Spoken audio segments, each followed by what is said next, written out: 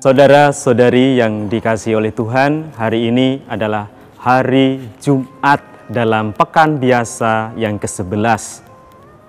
Dalam Injil Matius, Yesus memberikan pesan kepada kita. Ada dua pesan.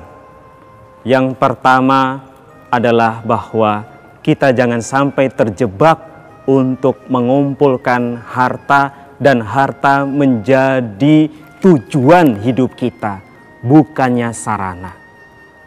Dan yang kedua adalah tentang pelita, yaitu bahwa mata itu pelita tubuh. Mata pelita bagi tubuh kita. Baiklah kita renungkan hal yang pertama. Saudara-saudari terkasih, Yesus sangat mengetahui dengan baik bahwa harta itu dapat menjadi sarana bagi pertumbuhan iman kita. Namun demikian, harta yang tadinya sebagai sarana, yang mula-mula hanyalah alat.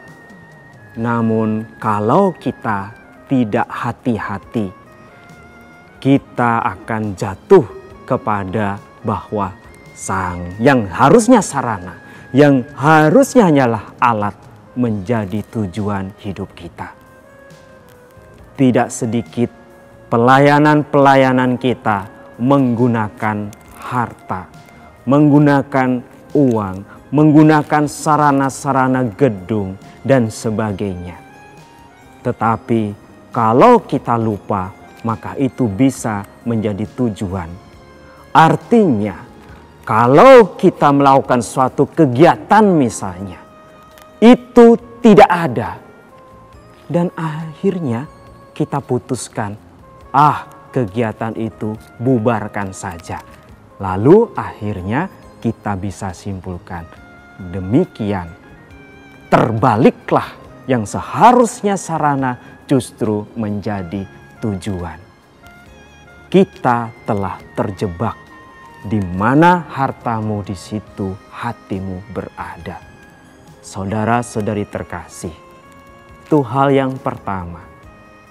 Hal yang kedua, Yesus mengingatkan kepada kita bahwa mata adalah pelita tubuh. Jika matamu baik, teranglah seluruh tubuh. Hal ini dengan mudah dapat kita pahami tetapi tidaklah mudah di saat kita belajar melihat.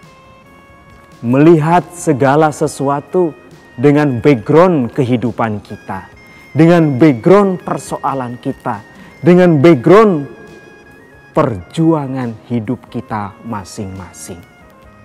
Ketika kita melihat suatu peristiwa, melihat orang lain, masihkah kita melihat itu di dalam mata hati Tuhan. Mata adalah pelita, maka kalau matamu jahat, gelaplah seluruh tubuhmu. Jadi jika terang yang ada padamu gelap, betapa gelapnya kegelapan itu. Saudara-saudari terkasih, kini baiklah kita belajar melihat dengan mata kasih Tuhan. Saudara-saudari terkasih, kalau dua hal tadi kita gabungkan, maka kita perlu berani belajar melihat harta dengan lebih baik. Harta tetap berguna, namun kalau kita melihatnya dengan baik, harta menjadi sarana, bukan lagi tujuan. Tuhan memberkati.